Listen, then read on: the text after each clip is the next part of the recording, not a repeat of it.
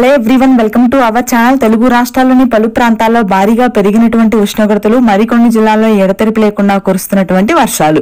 వివరాల్లోకి వెళ్దాం. ఏ జిల్లాల్లో వర్షాలు పడతాయి వాతావరణ పరిస్థితులు ఏంటో తెలుసుకునే ముందు మీరు ఇంకా మన ఛానల్ కనుక సబ్స్క్రైబ్ చేయలేదా?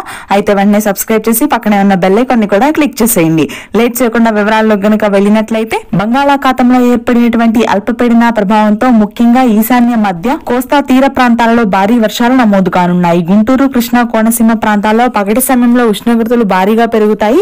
అదే విధంగా ఉక్కపోత కూడా అత్యధికంగా ఉంటుంది. అయితే రానున్నటువంటి మూడు రోజుల్లో మాత్రం భారీ నుంచి అతి భారీ వర్షాలు నమోదు కానున్నాయి. ఉత్తరాంధ్ర విషయానికి వచ్చినట్లయితే ప్రస్తుతానికి చిరుజల్లులు మాత్రమే నమోదవుతున్నాయి. అటవీ ప్రాంతాలు ఏజెన్సీ ప్రాంతాల్లో మరొక రెండు రోజుల్లో భారీ వర్షాలు కోరనున్నాయి.